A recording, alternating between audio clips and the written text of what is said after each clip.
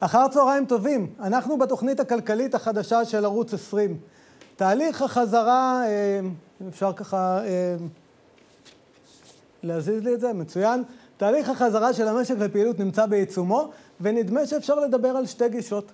גישה אחת דוגלת בחזרה איטית לפעילות מצד אחד, ומתן מענקים ופיצויים מוגדלים לעסקים ולפרטים מצד שני. גישה קצת יקרה, אבל זהירה. הגישה השנייה דוגלת בחזרה מהירה יותר לפעילות, כאשר היתרון הוא היכולת לחסוך חלק מהפיצויים והמה... ומהמענקים, אבל החיסרון הוא שהסיכון לסבב שני של הדבקות קורונה גדל, וכך גם הסיכון לסגירה מחוש... מחודשת של אותם עסקים שכבר נפתחו. צריך לומר שבמידה ויהיה סבב שני של הדבקות, בשונה מהסבב הראשון, אנחנו ערוכים אליו עם הנחיות מתאימות, עם אפשרות לעשרות אלפי בדיקות ביום, עם מסכות, עם הרגלים אחרים ועוד. כלומר, גם אם יהיה סבב הדבקות נוסף, אם נגיב אליו בזמן, לא יהיה צורך בסגירה של המשק הרמטית כפי שהיה אה, ממש עכשיו, ואלה חדשות כלכליות טובות. גישה קצת אחרת, שמייצגת בעיניי חשיבה מחוץ לקופסה, הציג למשרד הכלכלה דוקטור אמציה סמכאי, אנחנו נדבר איתו עוד מעט על הדברים האלה. אחת השאלות המעניינות היא, האם נחזור להרגלים הישנים שלנו, או משהו בעולם ישתנה? סנונית ראשונה שיכולה להעיד אולי על העתיד, היא האקזיט שעשתה חברת מוביט, שנרכשה על ידי אינטל, בלי פגישת פנים אל פנים אחת. עסקה של מיליארד דולר, חברים, הכל דרך הזום. נדבר גם על זה, ולצד ההייטק החשוב, מה שמוגדר כקטר של המשק, נדבר גם על העסקים הקטנים, כי קטר בלי קרונות, התועלת בו, מה לעשות, נמוכה משמעותית.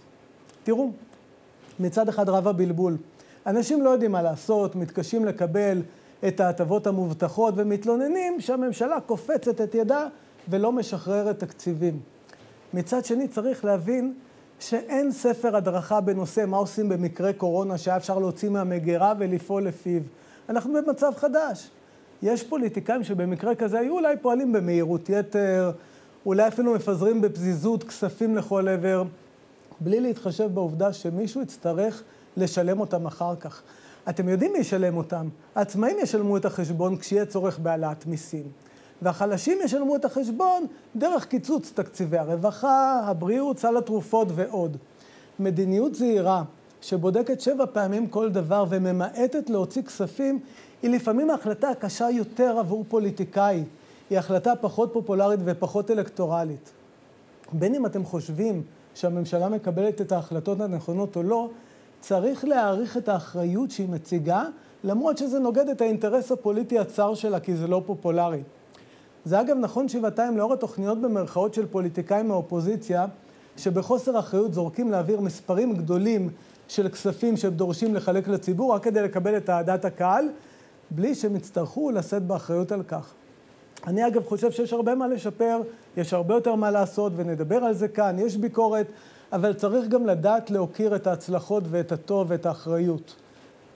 גם על הביקורת וגם על הטוב אנחנו נדבר כאן. נדבר גם על שוק ההון, שהיה מראשוני הנדבקים בקורונה, אבל מאז החלים, השתחרר מהמלונית, וננסה להבין מה קורה גם בשוקי המניות העולמיים. ואנחנו אומרים שלום לדוקטור אמציה סמכאי, אה, פרשן כלכלי בישראל היום, מנכ"ל סמכאי אסטרטגיה, נכון? חבר סגל אקדמי בבר אילן, ומייסד העמותה למדיניות כלכלית יהודית. בצדק. אמרתי הכל נכון, בצדק, עמותת בצדק. כן. אה, קודם כל, תודה שבאת, ואנחנו נגיד גם שלום לאיציק יהושע, הפרשן הכלכלי הבינלאומי, שאתה רגיל להיות פה יותר בשעות הערב, באולפן הפתוח עם בועז גולן, נכון? פאנליסט באולפן הפתוח. אנחנו עוד מעט נהיה איתך. אמצי, אתה כתבת תוכנית כלכלית לבקשת uh, המשרד, uh, משרד הכלכלה. בעצם זו לא תוכנית, הם באו והציגו לך כל מיני uh, uh, הנחות יסוד, שאגב, מצאתי בהם דברים מפתיעים. בין הנחות היסוד שלהם כתוב, לא יהיה מחסור במשאבים ציבוריים לתמיכה במהלכים מוצדקים. זאת אומרת, למרות כחלון, כן. למרות הגירעון בתקציב, אומרים, יש כסף, תגיד לנו מה לעשות כדי לא, לצאת מזה. בואו נשפוט אותם לכף זכות, זה בעצם היה, בואו תנו לנו את הרעיונות שלכם, אנחנו כבר נדע להטיל את המגבלות אחר כך. מה הרעיונות שלך? דבר ראשון, אה, את הנייר הזה כתבתי באפריל, ובעצם אה, זה היה בשיא הסגר, שיא המשבר אה, הכלכלי, ונקודה מרכזית ששמתי אליה לב, שעסקים אה, נתקלים בה ולא מצליחים להתגבר עליה, זה נושא הגמישות התעסוקתית. בעצם נתנו את האופציה של חל"ת, שזו אופציה ברוכה לה, לה, להחזיק את היום-יום, לקנות אה, לחם וחמאה במכולת בתקופה שאי אפשר אה, להמשיך ולהתקיים. אבל החל"ת הזה היה מותנה ב, אוקיי, תוציא את העובד ל-30 יום, פחות מ-30 יום הוא לא יהיה זכאי לדמי אבטלה, זאת אומרת, אתה חייב להוציא אותו עכשיו ל-30 יום. אם אני רוצה להוציא אותו לשבוע, כי בעוד שבוע אני יכול להשתמש בו, עכשיו אתה לא בעצם מעודד כלום. אותי... שבוע הם לא נותנים כלום, אין שום מענק. נכון, okay. אוקיי. אין אפשרות. אז בעצם אתה מעודד אותי לא לעבוד. אתה מעודד את המשק, יצרת כלי שמעודד את המשק לשבות. ולא רק זה, אם אני רוצה שהעובד יעבוד פה ושם כמה שעות, יעשה איזה משהו קטן, אני לא יכול, כי אם אני משלם לו, הוא מאבד את הזכות, אם אני לא משלם לו, זה אסור. נכון, אני יכול לספר על uh, כל מיני עסקים ששכרו כל מיני עובדים זמניים, כדי לא להחזיר את העובדים הקבועים שלהם מהחל"ת. שכרו כל מיני עובדים זרים או uh, צעירים כדי... שזה חוסר להחזיר... יעילות משווע. ודאי שזה חוסר יעילות משווע, שלא לדבר על אפשרויות של uh, uh, יוזמות חדשות. זאת אומרת, לצורך העניין, אם עכשיו יושב אדם בחל"ת בבית, והעסק שהוא עובד בו ביום-יום לא זקוק לשירותיו. תן לי להעסיק אותו. תן לי להעסיק אותו בשכר קצת יותר נמוך אולי, כדי שישתלם לי, אבל תן לי להעסיק אותו, אל תפגע בו, הרי אם, אם אני עכשיו מעסיק אותו... אגב, אבל אם אתה מעסיק אותו בשכר יותר נמוך, לתת לו רק את ההפרש, לא את כל שכר החל"ת, את ההפרש. תן לו קצת יותר, כדי שיהיה לו לא תמריץ. כן, אוקיי. בסוף אתה צריך לפצות על זה, שמעדיף, כולם מעדיפים לשבת כן. בבית עם הילדים. אה, האמת שלא כולם מעדיפים לשבת בבית עם הילדים, אבל, אבל בעיקרון אתה כן. מעדיף לשבת בבית ולקבל את אותו תשלום. כן, תן לו את התמריץ, תקזז קצת, אבל תן את האפשרות הזאת ליוזמות חדשות. הרבה אנשים נתקעו בלי אה, אורזים, בלי שליחים, כל מיני אנשים, ש, אה, עסקים שבעצם עברו מפעילות של אה, קנייה במקום לקנייה באמצעות כן. משלוחים. תן להם את הכוח אדם שהם צריכים. אתה אומר פה אבל גם משהו מסוכן. אתה אומר בתוכנית הזאת, תנו למעסיקים את היכולת להוריד לעובדים את השכר, בין אם זה זמנית לקורונה או באופן uh, כללי, mm-hmm. ואתה אומר פה גם, תבטלו, לפחות בתקופת הקורונה, את שכר המינימום. נכון. תיזהר שאתה יוצא פה מאולפן, שאף אחד לא יקפוץ עליך והכול, לא באולפן, כן. אלא בחוץ, אבל uh, זה קצת מסוכן. נכון. זה, זה קצת מסוכן, אבל uh, כל תוכנית שאתה מציע בסוף היא קצת מסוכנת, גם תוכנית המענקים, uh, יש אנשים שמנצלים אותה לרעה, גם uh, uh, הלוואות לעסקים קטנים. עכשיו שהמדינה שמה ערבות היא תוכנית מאוד מסוכנת, הרבה עסקים שבלי קשר לקורונה עכשיו מגישים בקשות להלוואה, עסקים מסוכנים, ובמהירות שהבנקים מאשרים את ההלוואות האלה, בטוח מאשרים בינתיים הם לא מאשרים, כי אין להם את הערבות המדינה מוגבלת ל-15%, נתנו כבר 20%, אז הם... את העסקים המסוכנים הם לא מאשרים כרגע, אבל... אה, אוקיי. אני יודע אבל... שעדיין אה, אישרו בהיקף של אה, כמה מיליארדים, אז... כן, כן. אז בוודאי... הגיעו לחמישה מיליארד נדמה לי, ויש להם שמונה כן. מיליארד גג, ואז יאריכו את זה עוד. בסופו של דבר, אי אפשר, בוודאי לא בזמן משבר, לעשות את התוכניות שלנו לפי מה אותו רמאי שרוצה לרמות יעשה. אתה צריך לעשות את מה שנכון. תן למי שרוצה לעבוד, רוצה לפעול, רוצה לפתח. הרי זה לא שיש לנו פה איזשהו משבר של, אה, אה, כמו שנות ה-30 בעולם, שהיה משבר כזה של חוסר ביקושים, אנשים לא רוצים לקנות ואתה צריך לעודד אותם באמצעות מענקים. יש פה משבר ש, של יכולת אה, ייצור, אנשים כן. רוצים לקנות. כוח אבל... הקנייה עדיין קיים. אוקיי, אבל כשאתה אומר בואו נוריד את שכר המינימום, נוריד את, ה, את המגבלה הזאת, יבוא מעסיק לעובד ויגיד לו, תשמע, תעבוד עכשיו בשביל 3,000 או 4,000 אה, שקל לחודש כי אין מה לעשות, והוא יגיד לו, אדוני, במצב הזה, אני, תן לי כבר את החל"ת, אני הולך הביתה, אני, אני מעדיף לקבל את החל"ת מאשר לעבוד בשכר הזה. בוודאי, אין ספק. אה, גם את נושא החל"ת כמובן צריך לעשות לו התאמה. אה, אבל לא כולם זכאים לחל"ת, אנשים שלא עבדו עד עכשיו לא זכאים לחל"ת. בכל מקרה, צריך להבין, שכר המינימום בישראל הוא גבוה בכל קנה מידה. כשבסוף אתה לא משווה את שכר המינימום בשקלים לשכר המינימום בארצות כן. הברית, אתה משווה אותו ביחס לשכר הממוצע או ביחס לשכר החציוני, ישראל מובילה עולמית בגובה שכר המינימום ביחס לשכר החציוני, וצריך להבין שיש לזה משמעות. אם עכשיו אני רוצה להעסיק איזשהו מתמחה, אה, אני לא שווה לי לשלם לו 5,300 שקל, הוא לא מחזיר לי את זה בתפוקה שהוא נותן לי. אוקיי, okay, אבל רגע, תראה. יכול להיות שצריך לעשות אה, שכר מתמחים אה, כפונקציה אחרת, אולי אה, פחות להגביל שכר מתמחים, כי אני גם בתור מי שמעסיק לפעמים מתמחים, אני מבין בדיוק על מה אתה מדבר. אבל בוא, בוא נעזוב את זה רגע. תראה, הטענה של אלה שמצדדים בשכר המינימום ובהעלאה שלו, תשמע, העלינו את שכר המינימום, אנשים אמרו שברגע שהעלו את שכר המינימום יהיו פיטורים המוניים והכול. והנה, המשק במצב של תעסוקה מלאה, לפחות היה לפני הקורונה במצב של תעסוקה מלאה, עם שכר המינימום, אז כנראה שזה היה בסדר. יפה, בדיוק העלית את הנקודה. היה לפני המשבר. כשהכול טוב, הכל טוב. אתה יכול לעשות מה שאתה רוצה. שכר מינימום זה בסדר כשהכול לא, טוב. ואתה לא רואה את התוצאות, okay. אוקיי. או שאתה לא תמיד רואה את התוצאות, הן נסתרות לך. אבל מה קורה במצב כזה? מה קורה במצב משבר? מה יקרה אם מחר בבוקר המשבר הזה יעמיק עוד יותר? זה, הבעיה עם שכר המינימום גם שאי אפשר להחזיר את הגלגל אחורה. מבחינה okay. פוליטית. אלה, אתה יכול רק להעלות אותו, אתה לא יכול להוריד אותו, כי אתה... כן, יש פה עוד הרבה נקודות מעניינות. אה, ובאמת, תוכנית מאוד מעניינת, אני ממליץ למי מהצופים שלנו ש, שרוצה, לא, אני לא יודע אם אפשר... אה, היא לא מפורסמת. היא לא מפורסמת, אה, אבל תשמע, דברים יצירתיים, דברים שמחוץ לקופסה, נתת את זה למשרד הכלכלה, עושים עם זה משהו, מישהו מסתכל על זה, על הדברים האלה? כי יש פה באמת עוד הרבה נקודות מעניינות מעבר לדברים האלה. תראה, הם ביקשו את זה, אז כנראה שהם מסתכלים על זה. אני חושב שרוב הנקודות שאני העליתי לא היו רלוונטיות בזמן אמת, כי כבר בנו מנגנון, אם דיברנו למשל על החל"ת, לא ישנו את מנגנון החל"ת עד שישתלטו עליו באמצע, או אפילו לא בטוח שישתלטו כן. עליו. אבל אנחנו יודעים שאנחנו הולכים לקראת עוד סבב. אה, לפחות עוד סבב ש... מקווה שלא, אבל אלה הערכות של כל מי שמסתובב בחוץ ורואה כן, מה קורה, כן. בסדר. אה, אנחנו לא יודעים אם אם הסבב הזה גם יהיה אותו סבב מבחינה כלכלית, כן. אבל בהנחה שנגיע לאותה סיטואציה מבחינה כלכלית, יש פה הרבה נקודות שאני מאוד מקווה שיילקחו בחשבון בסבב הבא. אני חושב גם שהיתרון, דרך אגב, של התוכנית הזאת, זה שבנה אותה לא, תסלחו לי, לא פקיד במשרד האוצר, אלא בן אדם שנמצא בתחום העסקי, שמנהל עסקים, שמעסיק עובדים, שיודע מה קורה, זה אולי אה, לקח מאוד מאוד חשוב. חייבים לערב אנשי עסקים אה, בכל התוכניות העסקיות, בכל התוכניות האסטרטגיות של יציאה מהקורונה. אי אפשר בלי אנשי עסקים, אי אפשר שרק פקידים שתסלחו לי. לא העסיקו עובדים, לא יודעים מה זה, לא יודעים איך מתנהל עסק, אה, אה, לקבל את ההחלטות אה, לבד. אמציה תישאר איתנו פה, אולי אה, אה, נגיד כמה מילים בנושא ההייטק. אני עובר אה, אליך. איציק יהושע, אהלן. אה, תשמע, חברת מוביט. אני, אני עשיתי כבר כמה שיחות בזום, כמה שיחות עסקיות עם אה, כמה אנשים, היה נחמד, אבל לסגור עסקה של מיליארד דולר, מיליארד דולר עוברים בלי שאנשים נפגשו, אני לא מדבר על לחצו ידיים או מרפקים, ראו אחד את השני בלבן של העין, רק בזום, וסגרו מיליארד דולר. אה, יש פה מסר גדול מאוד בכלל לכל התעשייה.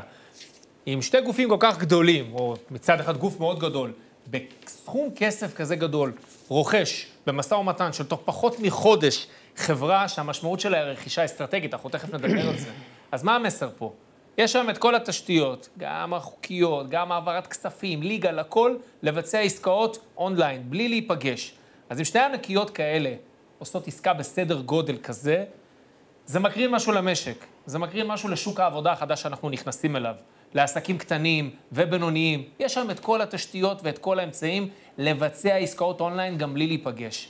עידן הפגישות המעונבות האלה, על מנת לסגור עסקאות, כנראה הולך להתמוסס. אנחנו נכנסים לעידן חדש לגמרי. אני ו... חושב שאולי, אה, אתה יודע, אנשים עדיין, תשמע, עשיתי עסקאות זום, אה, שיחות זום, ואז השיחה נגמרת בזה, טוב, יאללה, ניפגש לקפה כשהכול ייגמר. זאת אומרת, עדיין אתה מחפש את, ה, את המגע האישי. זאת אומרת, יכול להיות שאתה יודע, אה, פגישות אה, בין מדינה למדינה, לטוס למדינה אחרת כדי להיפגש ולזכור לזכור וזה, יכול להיות שישתמשו הרבה בשיחות זום, אבל כשבן אדם צריך, אתה יודע, לנסוע מהסיטי של תל אביב לאזור הבורסה ברמת גן, לפגוש מישהו אחר, השאלה אם הוא יעשה את זה בשיחת זום, או שהוא באמת ייקח את האוטו וייסע ו... ויראה את הבן אדם פנים אל פנים, זה משהו שאין לגביו תשובה, אנחנו עוד אה, נראה איך זה קורה, אבל... מצד שני, זו שאלה טובה, אתה חושב שגם בעידן לפני כן, גם לפני הקורונה, הזום, מי שמגיע מההייטק, שנים משתמשים בזום, חברה נסחרת, כולם מכירים אותה, פתאום כאילו העולם גילה את הזום. נכון. הזום היה פה תמיד, בהייטק עשו עסקאות שם. פגישות שבענפים מסוימים תמיד טענו, אנחנו צריכים להגיע פיזית, לראות את הבן אדם, להרגיש אותו בשביל לבצע עסקים, או בכלל לקיים פגישה, היום יכולות להתקיים בזום והן מתקיימות. אז אני אומר שוב, הכלים שגם ככה קיימים היום לבערך 10% מהמשק שחיים בתעשייה הטכנולוגית, הם פשוט היום, שאר המשק נחשף אליהם זה תהליך טוב, זה יקל כן. את הסטרימינג, את העבודה, את היכולת לבצע עסקאות, ללא ספק. ושהמשק ינוע יותר מהר. זה זמן עבודה, זה, זה תפוקה, זה פחות אה, דלק, זה, זה, זה ללא ספק אה, דבר שהוא מאוד מאוד חיובי. תספר לנו בכמה מילים על מוביט, מה זאת החברה הזאת שאתה יודע, בכל הקורונה והמשבר הכלכלי הזה, פתאום איזה חדשות טובות כאלה, מה מוביט עושה? מוביט זו חברה שלמעשה נותנת לך, זו חברה שמקשרת בין התחבורה הציבורית לאנשים. הרי הפער הגדול היה לא ברכבים האוטונומיים, היה הרבה פתרונות. אבל באו בשנת 2012 ואמרו, שלושה יזמים, שיש איזשהו פער. אין לי מספיק מידע מה קורה עם התחבורה הציבורית, מה קורה עם העומסים בכבישים, איך נכון לי לתכנן את הנסיעה שלי. הסיפור של מוביט, בכלל, האקזיט הזה הוא לא מוביט, הסיפור הזה הוא מובילאיי בכלל. מובילאיי מפתחת רכב אוטונומי. כחלק מהאסטרטגיה שלה לפתח רכב אוטונומי שיוכל להסתדר במרחב, זה למפות את כל הסיגנלים, את כל המידע שמחוץ לרכב. הרי חברת ינדקס שפיתחה רכב, תהליך גדול נוסף שהיא עשתה זה באמת למפות את הערים. באה מובילאיי ואמרה, רגע, אני לא אעשה את התהליך הזה לבד, אני אלך פה לעסקת רכישה, אני אקח את המידע ש-800 מיליון המשתמשים של מוב- של מוביט במטרופולינים הכי גדולים בעולם מספקים לה, ואנחנו נשלב את זה בתוך הפעילות שלנו. האתגרים הכי גדולים הרי של הרכב האוטונומי, זה לא בנסיעה בין הערים, זה בתוך העיר עצמה. מה קורה בתוך העיר? מה קורה עם התחבורה הציבורית? מה עם העומסים? מה קורה ברמזורים? ומוביט יודעת לספק לה את זה. אגב, היא תמשיך לפעול כיחידה נפרדת לכל דבר בפעילות שלה. מעולה. תגיד, קטר ההייטק יכול לשמש, קטר, אפשר לסמוך עליו בתקופת המשבר, בתקופת הקורונה הזאת, שהוא ימשיך להיות קטר. הרי חברת הייטק שהיא פועלת, היא בעצם אה, לא רק משלמת את השכר לעובדים שלה, אני יודע על חברות כמו צ'ק פוינט שפרסמו שהם לא הוציאו עובדים לחל"ת, בטח לא פיטרו עובדים, להפך, המשיכו להעסיק עובדים, נדמה לי 60 עובדים חדשים שהם אה, מחפשים. אה, והם כמובן מפרסמים, מפרנסים מעגלים נוספים כלכליים של מזון והרבה דברים שהם אה, צורכים תוך כדי ציוד ושירותים. אפשר לסמוך על, על ההייטק שימשיך להזיז את המשק שלנו קדימה גם בתקופה הזאת? נקווה מאוד שכן, כי 10% מהמשק, שזה ההייטק, בערך 320 אלף עובדים, אחראים ל-50% מהייצוא. אני מזכיר לך, בשנת 2000, במשבר, במשבר של 2000, זה היה בערך 15%. אז תראה איזה משמעות יש לזה. עכשיו, גם כשלוקחים את המילה הזאת, הייטק, בואו נחלק אותה. זה עולם שלם. עכשיו, אני אוהב לחלק את זה לשל... לשלושה חלקים. החלק הראשון זה חברות בוגרות בינלאומיות, זה חברות שמוכרות במאות מיליוני דולרים. זה חברות יציבות, זה חברות שיש להן משאבים לספוג הפסדים של רבעון ראשון, רבעון שני, וגם מעתה בהמשך במשק. החברות מהסגמנט השני, זה חברות שהן בצמיחה, זה חברות שמוכרות בערך במעל 50 מיליון דולר בשנה, זה חברות כמו קלטורה או וויקס, כאלה שכבר הונפקו בדרך להנפקה, זה חברות שצריכות להמשיך להראות איזושהי צמיחה. גם החברות האלה אולי יקפיאו חלק מהגיוסים שלהם, אבל הן עדיין מגייסות, אנחנו רואים כן. את זה. והחלק השלישי, החלק המסוכן והבעייתי, זה הסטארט-אפים. עכשיו, גם פה בפנים, אתה יודע, חברות שמוכרות עד 10 מיליון דולר בשנה, או חברות שהמוצר עדיין לא מוכן, והן חיות עדיין על גיוסי הון. כן. אלה החברות בבעיה. ועכשיו, מה... והן גם תלויות בארצות הברית בעיקר. החברות האלה, ושאלה מה הכלכלה שם. כולם נרטבים. הצריכה נפגעת לא רק פה, ההייטק מוכר רק לחו"ל, השוק המקומי לא מעניין, הוא קטן מדי. לכן כשיורד גשם כולם נרטבים. ורק אני אומר, התהליך המעניין שיהיה בהייטק שאני צופה, זה באמת איזושהי... מיזוגים ורכישות, איזושהי קונסולידציה בפנים שחברות גדולות קונות טכנולוגיות קטנות מוקדם מהצפוי, משהו שציפו אה, שיקרה אחר כך, פשוט יימכרו עכשיו, יהיה איזה קניבליזציה על הטכנולוגיות הללו. בעצם החברות הגדולות הולכות לנצל את המשבר הזה, לנצל הזדמנויות, לקנות חברות קטנות במחירים יחסית טובים, כי החברה הקטנה קשה לה להתקיים עכשיו וקשה לה להתקדם, אפשר לקנות אותה במחיר טוב, זה ניצול הזדמנויות. זאת אומרת, הערך של, הח... של חברות ההייטק הגדולות יעלה בעקבות המשבר הזה. לפחות ש- צפוי, אלא אם כן הם ייפגעו אני מהכלכלה מסכים לחלוטין האמריקאית. עם הניתוח הזה, ואני אגיד לך עוד דבר, זה נובע ממשבר של, של הון. קרנות ההון סיכון הגדולות יושבות כעת על הגדר, והן ישבו על הגדר והן גם מצהירות, הם שומרים כעת את הכסף, לא חכם להשקיע עכשיו בסטארט-אפים חדשים, כן? המשק בבעיה בכל העולם, שומרים את הכסף להשקעות המשך בהשקעות קיימות שלהם. לכן, כרגע התהליך יהיה בדיוק מה שאתה ראית. מי שגדול וחזק, אולי, בכל ענף, אולי זו הזדמנות. אה, לפנות לקרנות הון הסיכון הגדולות ולהגיד להם, חבר'ה, אנחנו דורשים פה מכולם לקחת אה, חלק במשבר הזה, דורשים פה מכולם להיכנס מתחת לאלונקה, גם מהעובדים, גם מהבנקים, מה זה? גם מכולם, גם דורש- אתם דור- תיכנסו קצת. דורשים זה אצל הסוציאליסטים בצד השני, לא בערוץ הזה, אבל מה שכן הייתי מציע, אני מניח שאתם מסכימים איתי, מה שכן הייתי מציע, ואנחנו דיברנו על זה בתוכניות אחרות שהיינו ביחד, אה, אה, ארז, אוקיי. ואתה מגיע מהעולם הזה, שהמוסדיים הישראלים ייכנסו. איפה הם היו בעשור האחרון? פספסו את כן. הקטר של ההייטק. פספסו רווחים גדולים מאוד. זה פה. נכון מאוד, וזה נושא לשיחה נפרדת. אה, איציק יהושע, הפרשן הכלכלי הבינלאומי, אפשר להגיד של ערוץ 20 כמעט, דוקטור אמציה סמכאי, אמצקה אסט- אה, סמכאי אסטרטגיה, תודה רבה לשניכם. אנחנו יוצאים לפרסומות, כבר חוזרים, תישארו איתנו.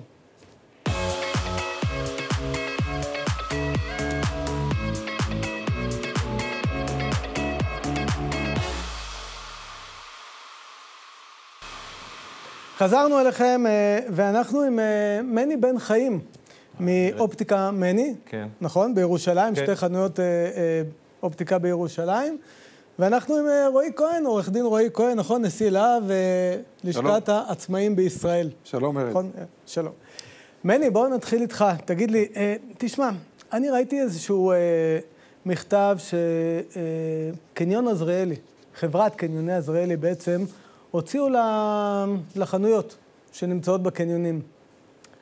עד החמישי, עד הרביעי לחמישי, אם אני זוכר נכון, נתנו להם פטור מלא גם מדמי שכירות וגם מדמי ניהול. עד ה-14 לחמישי, משהו כזה, פטור מלא מדמי שכירות, הנחה בדמי ניהול, ולאט לאט עד סוף יוני הם נותנים להם הנחות משמעותיות, גם בדמי הניהול וגם בדמי השכירות. זאת אומרת, למרות שהקניונים נפתחו היום, הם בעצם אומרים, חבר'ה, הקניונים נפתחו, אין עדיין קהל, נכנסים עם מסכות, תורים, אין הרבה אנשים בקניון, אנחנו נותנים לכם הנחות. עכשיו, אתה יודע, באו החנויות בהתחלה, רצו להתאגד, אז בא הממונה על ההגבלים העסקיים, אתה בטח מכיר את זה, אה, אמר להם, חבר'ה. אי אפשר להתאגד, אז הרשתות הגדולות בעצם מנהלות משא ומתן עבור כולם, ואתם, החנויות הקטנות שנמצאות ברחוב, אין לכם מי שינהל עבורכם משא ומתן. אף אחד לא דואג לנו. גם יש לי חנות בקניון שלא כולם התנהלו או נתנו אה, הנחות ו... כמו עזריאלי. כרגע אני נמצא, יש לי חנות בקניון שכרגע שם אני לא יודע מה קורה. אין, אתה אה, משלם שכירות, שילמת שכירות בתקופה החודש הזאת הזה שהחנות אני הייתה סגורה? עצרתי עצמאית את השכירות, אני לא יודע מה יקרה, אני מקווה שאני אגיע... קיבלת דרישת תשלום? קיבלתי דרישת תשלום, גם החודש קיבלתי דרישת תשלום. אני מקווה מאוד שאני אגיע לאיזה הסדר. אמ, סך הכל, סך הכל אה, אנחנו, אנחנו, גם בחנויות הקטנות, אנחנו לא, לא באותו מצב כאילו כמו של הקניונים. אנחנו, אין, אין מי, אני, אולי, אולי רועי ידאג לנו פה. אוקיי, תכף נשאל את רועי, השאלה אם יש לך, יש לך ציפיות מהממשלה שתבוא ותסדר את העניין הזה, או מרועי שיבוא וידאג לך ו, ו, ויגיעו לאיזושהי, לאיזושהי נוסחה? כי אתה יודע מה, זה בעיה יותר מכולם גם של בתי המשפט. כי אם אתם לא תגיעו להסדרים כלליים במשק, בתי המשפט יוצפו אחרי המשבר הזה בתביעות כאלה ואחרות של שוכרים מול משכירים. זה שבכלל אה, אה, הממשלה לא דואגת, וכ- וארגון העצמאים, יש אותו, וקמו שולמנים, וקמו אה, כל מיני אה, אנשים שמנסים באמת לעזור, לעזור לארגון. כן. אם זה היה בא מלמעלה, מצבנו היה, היה טוב יותר, אם זה היה בא מלמעלה. אוקיי. תגיד לי, איך אתה, מבחינת, אה, שוב, כחנות אה, קטנה, מבחינת התחרות מול אה, רשתות האופטיקה הגדולות, שאנחנו כולם מכירים אותן, הן גם מציפות אולפנים והן מדברות והכול, יש להן הרבה יותר כוח, הן עושות פה הנחות של 75 אחוז וזה, אתה יכול להתמודד עם זה? איך, הדרך של חנויות קטנות להתמודד עם uh, תחרות כזאת זה לה, להבדיל את עצמם מה, מהרשתות. קודם כל, מבחינתי זה מקצועיות. אני בתחום שלי, בתחום האופטומטריה, מקצועיות. תלמד כמה שיותר, תעבוד במקומות הכי טובים, תעבוד בבתי חולים, uh, תלמד את הנושא עד הסוף. Uh, לא תמיד יכולים להחזיק אנשי מקצוע טובים ברשתות. יש אנשי מקצוע טובים ברשתות, לא תמיד יכולים... ל... ל... הבידול הוא גם באיכות של הסחורה וגם בשירות האישי. אנחנו נהפכים לחנויות בוטיק כיום. חנויות בוטיק זה, יש אנשים שירצו לקבל שירות ברשתות, אה, כל שבוע או כל שנה לפגוש מישהו אחר, ויש אנשים, ש... ויש אנשים או פציינטים שירצו לקבל שירות אישי, כן. ממני לדוגמה ל-25 שנה שאני עובד אה, במקום שלי. מה עם ארנונה? עיריית ירושלים מתקשרת איתכם? ארנונה, משהו, הנחות? לגבי ארנונה אני לא יודע, אף אחד לא מתקשר איתנו. אני אפילו לא יודע אם אני... אמרו שיעצרו את זה או זה, אני לא יודע אצלי, כי אולי החריגו אופטיקות, לא יודע מה קורה אצלי אה, במקום, הכל בהוראת קבע, אנחנו נצטרך לטפל בזה בטח אחרי זה, או שהממשלה... כן. תגיע להחלטה. תראה, ישב פה דוקטור אמציה סמכאי שעשה תוכנית כלכלית אה, אה, למשרד הכלכלה, והוא מדבר על העובדים והחל"ת ועל זה שצריך להיות יותר גמישים והכול. זה משהו שמפריע לך? איך אתה מתנהל היום עם העובדים? כמה עובדים יש לך היום? היום יש לי בערך 12 עובדים. מתוכם אה, יצאו בערך אה, שמונה עובדים לחל"ת. אה, באותו, אני עוד יכלתי לפתוח חלק מהזמן את, ה, את החנות, כי הייתי עסק נדר... חיוני, חיוני והצלחתי לבוא כמה שעות, לעשות איזה 20 אחוז מהפדיון, 30 אחוז מהפדיון, ואיכשהו לנסות להחזיק מעמד ולהשאיר את העסק שלי חי. אם הייתי יושב בבית, וגם סיכנתי את עצמי כמובן, בתקופה הזאת של לצאת, ובאמת היה מהומה. בחוץ מבחינת התחלואה, אז, אז אתה מסכן את עצמך, ו... כי אם הייתי סוגר את המקום שלי, אני לא בטוח, ההתאוששות שלי הייתה הרבה יותר קשה. אה, אה, כן. לקחתי... כמה הפדיון ירד, אגב, בתקופה הזאת? ירד לגבי, ירד כמעט 70 אה, אחוז. אז אתה זכאי גם למענק. אני מקווה מאוד. מקווה מאוד. למה הוא אומר מקווה מאוד? קודם כל, ארז, המקרה של מני משקף את מה שקרה פה בחודשיים האחרונים. בעצם מדינת ישראל החליטה לסגור למני את העסק. היא אמרה לו שהוא לא יכול לפעול בתנאים הרגילים, ובעצם גרמה לו לירידה של מהמחזור מ-100 ל-30 אחוז, ולא לקחה על זה אחריות. השאירה את מני לעמוד מול אותם אה, מזכירים שלו, שהוא צריך לשלם להם את אותם אה, אה, עלויות שלו, מול הספקים, מול התשלומים השוטפים, מול הביטוחים, מול הזה, ובעצם אמר לו, תשמע, תסתדר. ואת זה אנחנו באנו לתקן. אנחנו זה ארגון להב, להב זה לשכת ארגוני העצמאים והעסקים בישראל, היא מאגדת 56 ארגונים, ובעצם באנו ו- ונאלצנו לצאת לרחובות, לסכן את הבריאות של אלפי אנשים, ולקרוא למדינה לקחת על אחריות על מני ועוד על עשרות אלפי עסקים או מאות אלפי עסקים, ולהחליט להכניס את היד לכיס ולעזור לו. לעזור לו הן באמצעות דמי אבטלה לעצמאים, והן באמצעות פיצוי על ירידה במחזורים. אנחנו שמחים ש... כבר זה התחיל להיכנס לפועל, היום למעלה מ-100 אלף איש כבר נכנסו וקיבלו את אותו מענק פעימה שנייה, ב-12 אה, לחודש יתחיל המענק פעימה שלישית, וב-18 לחמישי יתחיל הבעלי שליטה, שבעצם שכירים בעלי שליטה. אבל עדיין, ארז, כמו שאתה רואה, הכל... טלאי על טלאי, הכל, המדינה נתפסה עם המכנסיים למטה בכל מה שקשור לטיפול בעצמאים והעסקים הקטנים. השאירה אותם לבד במערכה, כאילו הם אזרחים סוג ב', כאילו הם שקופים, ומני לא צריך לשבת עכשיו בחרדה, ראית מה הוא כן. אמר, אם אני לא הייתי בא ומסכן את הבריאות שלי, קצת כדי להפעיל את העסק, יכול להיות שלא היה לו מה לפתוח היום. יכול להיות שעכשיו 12 העובדים האלה היו נופלים על מדינת ישראל בדמי אבטלה, היו נופלים על זה, הוא לא היה מייצר, הוא לא היה מביא פריון. למה? מה הוא עשה? הוא היה עסק טוב, הוא לא רצה מכם שום דבר. אתם החלטתם, כתוצאה מהוראות משרד הבריאות, החלטתם לסגור לו את העסק, קחו אחריות. מה, הוא לא שילם לכם כל השנים? בוא. ניקח אחריות. אוקיי, אני המדינה לצורך העניין. בואו ניקח אחריות. נוציא כסף, נחלק כסף, אין בעיה. לא נחלק, ניתן את מה שמגיע. מי ישלם אחר כך את החשבון? מני. מני, לא נכון. אתה יודע למה? אני אגיד לך למה. שנייה, אני אגיד לך למה. המיסים יעלו.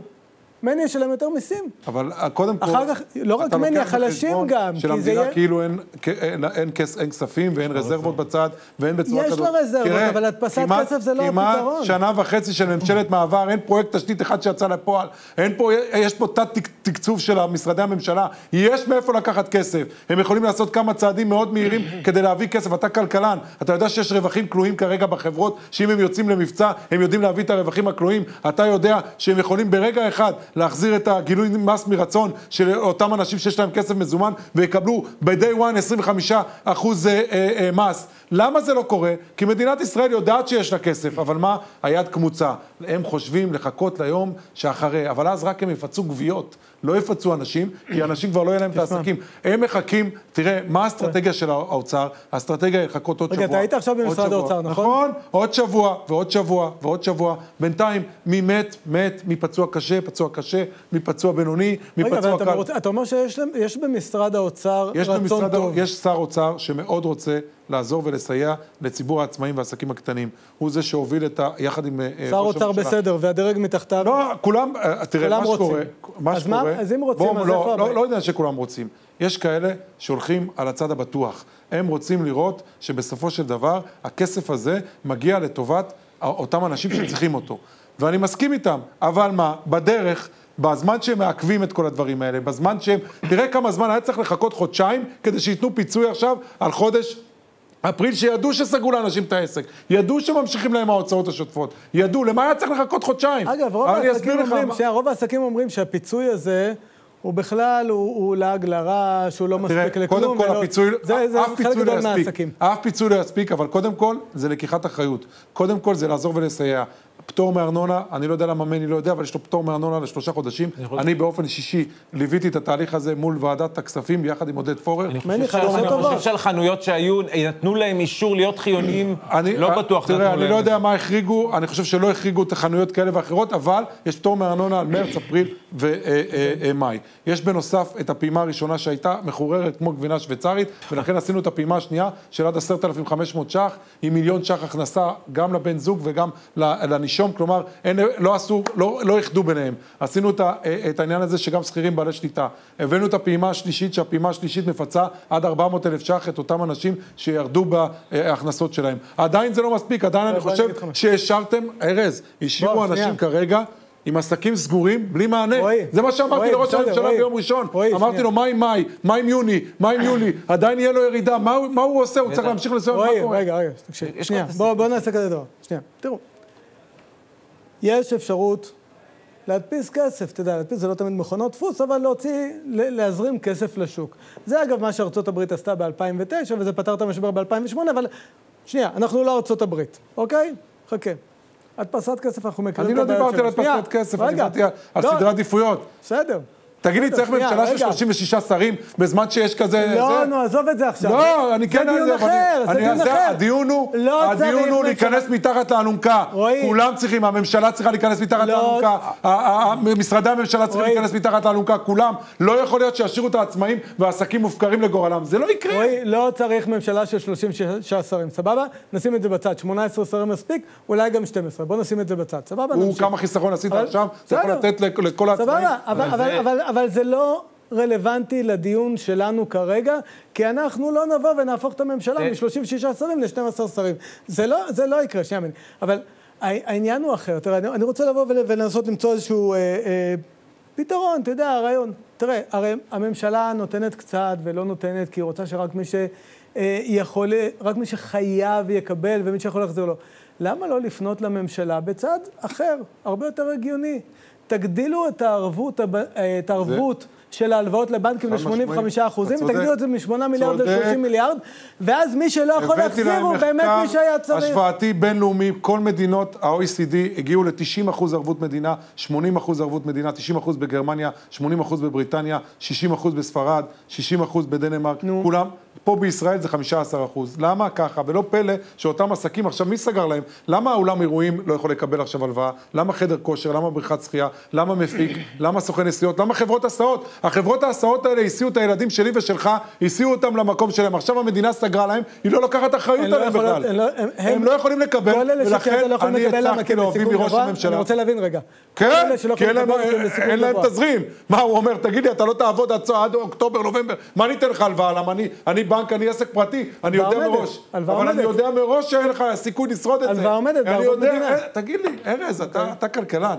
אדם שעכשיו יש לו הוצאות שוטפות של סדר גודל של מאות אלפי שקלים, ואין לו תזרים אפס, והוא לוקח את זה עכשיו... אז מה תעזור ערבות. מדינה? אז מה תעזור ערבות מדינה בכזה דבר? קודם כל אתם עוזרים לו חמצן, כדי שהוא יתחיל בדיוק מה שעשה מני. מני זה הדוגמה של מה שצריך לעשות. קודם כל לשמור על העסק, לעבוד בעצימות של 20-30 אחוז, אבל לשמור על העסק שלך עם הכוח האדם שאתה צריך, את השאר העובדים הוציאו לחל"ת, הכל בסדר. קודם כל לשמור על העסק, אבל הוא לא יכול לשמור על העסק אם אין לו תזרים, אם אין לו חמצן. החמצן הזה זה באמצעות האשראי ובאמצעות המענקים.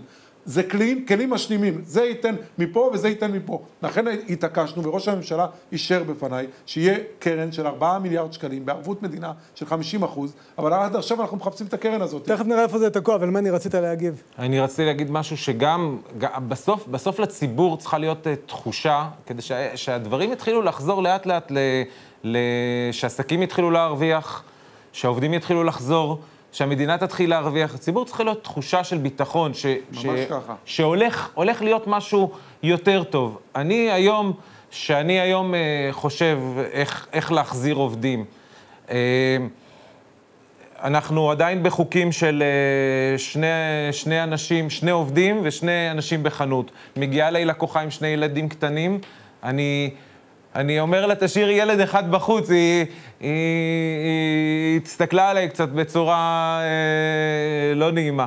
אבל אנחנו לא יכולים לשרת את אותם כמות, היום, כרגע, בסוף אנחנו לא יכולים לשרת את אותם כמות אנשים.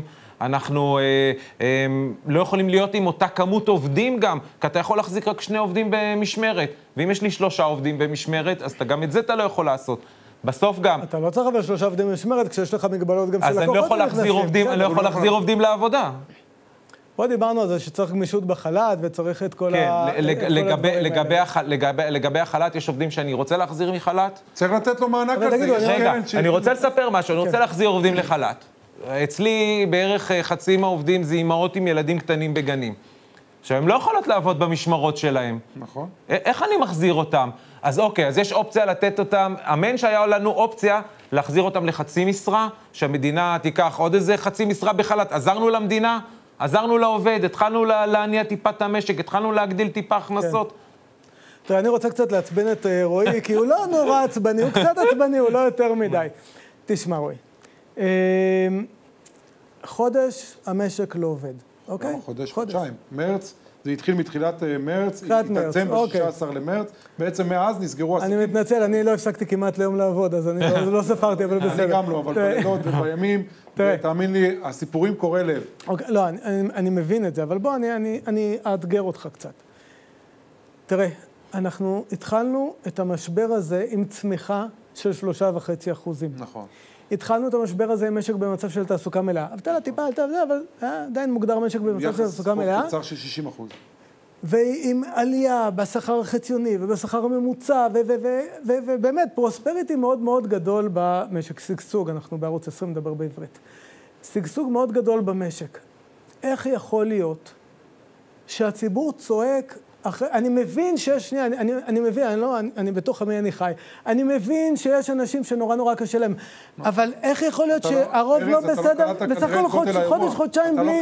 הכנסות. לא נכון, אתה- לא, אני אגיד לך למה אני חותר. גודל האירוע... אני חותר לזה שאנשים לא חסכו כסף. רגע, כאילו להסתדר. עם חודשיים בלי הכנסות. אני מדבר עם בנקאים, אני חותר לזה שאנשים, ואני אני מנסה, אני לא רוצה לעשות חשבון, אני רוצה. שאנשים יפיקו לקח לאבא. ברגע שהרכבת. עוצרת, הכל עולה למעלה. אני רוצה- אתה מבין שהכל היה פה תזרים, 90% ממשקי הבית עובדים על אוברדרפט. העסקים יפה, עובדים רק על תזרים. יפה, על זה רק אני- על תזרים. ברגע שעצרת, במלחמה אתה לא עוצר מ-100 ל-0, אתה יורד ל-60, על זה אני רוצה לדבר ולכן אתה. יכול להמשיך לתפקד. רועי. ברגע שאתה סוגר מ-100 ל-0, לא היה אירוע כזה במדינת על זה אני לא רוצה דבר לדבר כזה. איתך, על זה אני רוצה לדבר איתך, ועל זה אני רוצה לדבר עם הקהל בבית.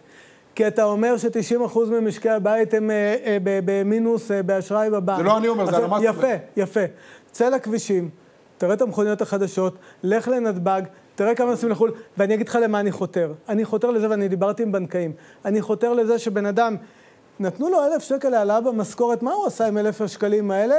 אמר, וואי, יש לי עכשיו איזשהו עודף תזרימי, אני אחליף רכב, אני אסע לחו"ל ב- לארצות הברית, כל תאמין לי, המשפחה הקורונה בקיץ. אני- הזאת סדרה. זאת אומרת, זה טוב למשק, זה אנשים- טוב למשק. זה טוב למשק, אבל אנשים היו צריכים לשים קצת כסף בצד בזמן משבר. לא יכול להיות שחודש. או אתה באת- אני רוצה שהציבור יפיק לקחים לא לאבא. יש אני אמנה רוצה בלתי שהציבור כתובה, תשמע יפיק. לקחים יש לאבא. אמנה בלתי כתובה בין אזרח למדינה שלו. אבל תהיה איתי רגע בהפקת הלקחים, תהיה איתי בהפקת הלקחים, אתה גם בעד הציבור. בהפקת הלקחים אני מאמין שאזרחי מדינת ישראל הבינו שהם לא יכולים יותר לסמוך על מדינת ישראל, והם צריכים לסמוך על עצמם. חד משמעית. זה לא שאי אפשר לסמוך על חד מדינת משמעית, הם צריכים ישראל, לסמוך על עצמם, רועי. תאמין לי, מני הבין את זה רועי, מהר מאוד. רועי, מדינת ישראל היא לא כל יכול. כל שקל לבן ליום שחור. תאמין לי, זה מה שהוא יעשה עכשיו, והמון המון ישראלים ואזרחי מדינת ישראל יבינו שבשעת משבר הם יצטרכו לסמוך רק על עצמם. אבל יש פה אמנה בלתי כתובה בין אזרח לבין המדינה שלה. שבזמן המדינה רוצה ממך מיסים, היא רוצה לשרת בצבא, היא רוצה ביטוח לאומי, היא רוצה ארנונה, הכל בסדר.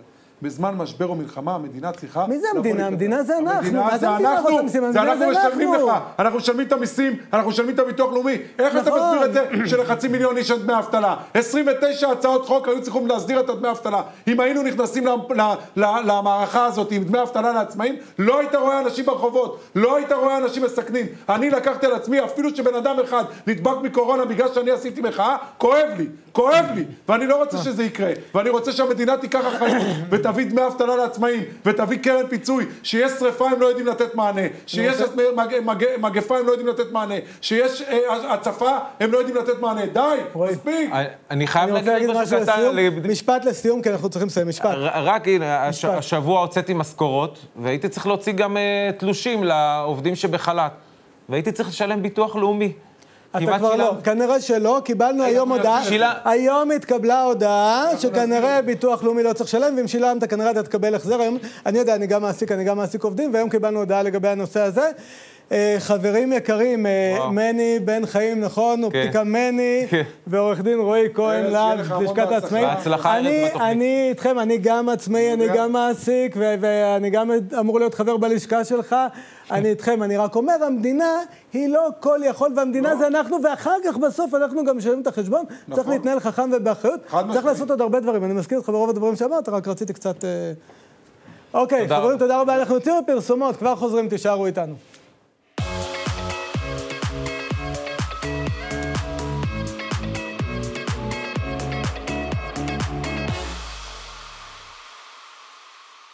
חזרנו אליכם, אה, ואנחנו אחרי האייטם הקודם, שהיה קצת, אה, באמת, לא יודעת, כי באמת העצמאים אה, זועקים מדם ליבם. לא הכל המדינה יכולה לעשות, אבל באמת יש הרבה הרבה דברים שאפשר לעשות. לא נעשים, לא מתוך רוע מן הסתם, אלא מתוך זה שמצב חדש שהם מנסים להתמודד איתו ולעשות את הדברים הנכונים, כי צריך להבין, כלכלה זה דבר נורא רגיש, כלכלה זה, נבע, זה דבר גם נורא שביר, וצריך להתנהג איתו בעדינות ולעשות את הדברים הנכונים. זה כל כך חשוב, זה משפיע המון על הטווח הארוך. ואנחנו חוזרים אליך, דוקטור אמציה סמכאי, ובוא ככה אחרי האייטם הזה, בוא נדבר קצת על דברים טובים. מה משבר הקורונה. מה הוא עשה טוב למשק העולמי, הישראלי? כן, תראו, אנחנו כרגע מרוכזים במשבר. רוב העסקים, בצדק, מרוכזים במשבר. צריך לזכור, עברנו משבר שהיה נתפס כמשבר מאוד נוראי לא מזמן, 2008-2009, השוק העולמי חווה טלטלה עזה והתגבר עליה. התגבר עליה יחסית מהר, אה, והרבה אנשים, לא- אה, אנשים שנכנסו לעולם העסקי אחרי המשבר הזה בכלל לא זוכרים שהדבר הזה קרה. אה, ואני חושב שגם המשבר הזה, אם ניקח אותו בפרופורציה, הוא מכה קלה בכנף של השוק העולמי, ודווקא יש בו הרבה דברים טובים, בעיקר דברים שכבר הוזכרו פה קודם, הנושא של השימוש בטכנולוגיה. המשבר הזה הכריח אותנו בעצם, זה כמו אה, הורה או מורה שמכריח את התלמיד ללמוד. המשבר הכריח אותנו ללמוד להשתמש בטכנולוגיה, ויש הרבה טכנולוגיות שקיימות בעולם כבר הרבה זמן, ואומרים, רגע, למה זה לא מבשיל? למה העולם לא עובר להיות יותר יעיל ומשתמש בטכנולוגיות האלה? יש למשל, אני אתן דוגמה, סטארט-אפ אה, שפיתח אה, משקפי מציאות רבודה לטכנאים. טכנאי במפעל הולך עם המשקפיים האלה, והוא רואה איפה צריך להיות כל החלק. זה אמור להקל עליו את העבודה בצורה דרמטית ולייעל אותה בצורה אה, מהותית. סיפר לי משקיע שהשקיע בסטארט-אפ הזה. אומר לי, הלכתי לסיור במפעל לראות את ההדגמה של איך הפועלים משתמשים. אז כשכל המשלחת הולכת, הפועלים שמים את המשקפיים ומשתמשים ומראים כמה זה יעיל. שנייה אחר כך אני הצצתי, אחרי שהלכנו, כולם הורידו את המשקפיים וחזרו לעבוד כרגיל. כן. כי יש, מה לעשות, למי שלא חי את הטכנולוגיה, יש את הזמן הטמעה, יש את הזמן להתרגל לטכנולוגיה, וזה עצר הרבה אנשים. עולם הבנייה למשל, עולם הבנייה, תסתכלו בארץ, מי שיצא לו אה, לראות איך נראה אתר בנייה. טכנולוגיה של אה, לפני 50 שנה, פחות או יותר, זה היה נראה כן. אותו דבר. אותו דבר, יש היום רובוטים, יש היום אה, מנופים אה, אוטומטיים, יש היום כל עוד מיני דברים. פעם אתה עם הרובוטים עדיין- שמחליפים עובדים. עדיין אתה רואה את הפועל הולך ושם לוחות עץ אחד אחרי נכון. השני, ואז עם הצינור ככה שופך את הבטון. הדברים האלה כנראה ייעלמו. אנחנו לא רואים את זה עדיין בעין. אגב- בכלל בכלכלה. אתה, כן, אתה... שנייה רגע, אנחנו אה, עוברים ליאיר, אה, יש לנו את אה, יאיר, אהלן יאיר. הנה יאיר, יאיר, איפה אתה שלום נמצא? ארז, שלום. איפה אתה אנחנו נמצא, נמצאים יאיר? פה בקניון הדר. אנחנו בקניון הדר, בתלפיות, בירושלים. הקניון שנפתח היום לראשונה מזה חודש וחצי, וכמו שאתם יכולים לראות, הקונים חוזרים לפקוד את הקניון. אה, זהו, הש- כמה- החנויות נפתחו, הקונים חזרו, תענוג לראות. החנויות פתוחות כולן? החנויות, כמו שאפשר לראות מסביב, החנויות פתוחות רובן הגדול. אה, הקונים אמנם עדיין לא באו בהמוניהם, כמו שהיה אפשר לצפות, אבל בהחלט אפשר לומר שהחיים חזרו לקניון. יש, אה, יש תור בכניסה לקניון? בכניסה לקניון אין תור עדיין, אבל בהחלט בחלק okay. אוקיי. מהחנויות אפשר לראות uh, תור קצת יותר רציני. הנה נמצא איתנו פה אחד הקונים. בוא תיכנס, תיכנס שיראו אותך. מצוין, שלום. שלום וברכה. מה שמך? מיכאל. כן. מיכאל, שלום. שלום נעים מאוד. לא פחדת להגיע היום לקניון, מיכאל. לא, אנחנו דוגלים במשפט והעיקר והעיקר לא לפח את כלל. אנחנו מחזקים את עם ישראל שבאמת אה, יצאו ויקנו ויתנהגו כרגיל, כמובן, כמובן לשמור על הכללים. יאיר. ובגלל שאני מתראיין כרגע אני מסכה, אבל לשמור על הכללים. יאיר, כן. זה משפט מצוין, אנחנו חייבים כן, כן, לצאת לפרסומות. אנחנו נצא מהמשפט האופטימי שלו, זה מצוין. טוב לראות את הקניון, טוב לראות את החנויות אה, אה, פתוחות. כיף גדול, שימשיך ככה בעזרת השם ולא נלך אחורה. יוצאים לפרסומות, כבר חוזרים, תישארו איתנו.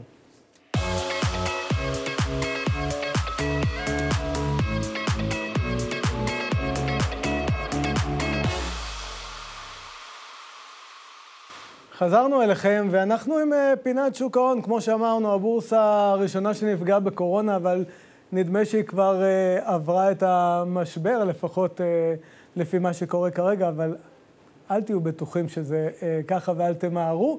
Uh, אנחנו עם uh, איתי טרבלסי, יועץ השקעות uh, אזורי בבנק הפועלים, נכון? טוב, ארז, מה? אהלן איתי, מעולה. Uh, טוב, איתי, מה עשו השווקים שלנו uh, השבוע? אז בואו נתחיל להסתכל גם מה עשו השווקים השבוע וגם אה, איך הם התנהגו מתחילת שנה. אז יש לנו ככה, אנחנו רואים שהמדדים בארצות הברית, אה, הנסדק בראש עם ביצועים של מתחילת שנה של כמעט 3% פלוס, וזה עוד לפני העליות שמתרחשות ממש ברגעים אלו. ה-S&P 500 אה, מזנב טיפה אחריו עם ירידה של 11, כמעט 12% מתחילת שנה. אנחנו רואים שהמדדים בתל אביב עדיין בירידה של 13 עד 15 ומדדים במזרח, יפן, אה, ואירופה, סטוקס 600, מינוס 17 וכמעט 20 אחוז. שונות מאוד גדולה בין המדדים, ואנחנו גם תכף נדבר על הסיבות כן. להבדלים הללו. זאת אומרת, בעצם הבורסה אה, חזרה חצי דרך, נכון? ירדה בערך 30 אה, אחוז פלוס מינוס, תלוי באיזה שווקים, חזרה חצי דרך, לא חזרה לגמרי. אנחנו רואים כל הזמן ירוק אז אופטימיים, אבל עדיין המשבר בשוק ההון. אבל מה באמת אה, קורה? למה הבורסה עולה ככה? היא לא מפנימה את הנזק הכלכלי של הקורונה, את מה שראינו פה בתוכנית, את כל הבעיות? הדיסוננס שאתה מתאר הוא ממש מעניין, כי אנחנו יודעים שהפגיעה הריאלית, שגם דיברתם עליהם היום כל התוכנית, וגם אנחנו חווים אותה במציאות עם מספר מובטלים, והעסקים שלו לא מתפקדים, היא דרמטית.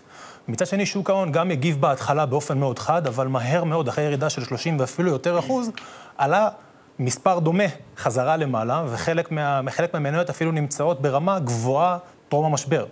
עכשיו, הדבר הזה קורה בעיקר בגלל ששוק המניות הוא שוק של ציפיות, והוא לא מתעסק עם מה שקורה עכשיו בשוק, אלא עם מה הוא חושב קדימה. ואם אנחנו זוכרים שהכוחות שמשפיעים מצד אחד זה הפאניקה, מצד שני זה ציפיות לעתיד, ואולי כמה מהר הכלכלה תחזור לעצמה, אלה בעצם שני כוחות מנוגדים שעובדים כל הזמן, ובכל רגע, בכל רגע שאחד מהכוחות האלה מנצח, זה מה שהשוק עושה. כן, ו...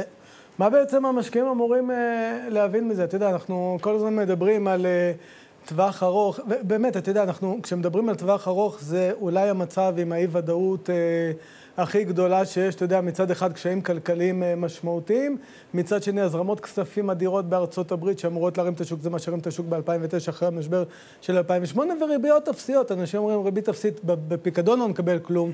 באג"ח כלום, נדל"ן כבר לא כזאת מציאה, נשאר שוק מניות.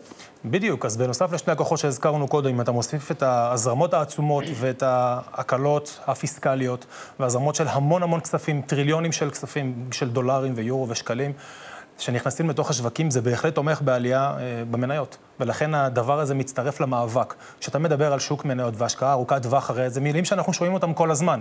אבל להפנים את זה ברגע האמת, שקורה משבר כל כך חד וקיצוני, ואתה חווה בתיק ההשקעות שלך ירידה של לפעמים של עשרות אחוזים במספר שבועות, הפחד משתלט ואתה בדרך כלל מגיב מהבטן. ולכן בזמן הזה, ובכלל באופן כללי, כדאי שתיק ההשקעות יהיה תיק שמתאים לפרופיל ההשקעה כן. שלך, לפרופיל הסיכון. טווח ארוך זה לא רק סיסמה, זה באמת כך צריך להתנהל. כן. כן, מישהו פעם אמר לי שטווח ארוך זה טווח קצר ועוד טווח קצר ועוד טווח קצר, אבל חברים, טווח ארוך אה, זה באמת, זה לא סיסמה, זה לא סתם מילים, זה מאוד חשוב. אתם משקיעים בשוק, תישארו לטווח ארוך, אתם צריכים את הכסף בטווח הקצר, אולי אפילו הבינוני, אולי זה לא המקום אה, אה, להיות בו, בטח לא ברמות הסיכון הגבוהות.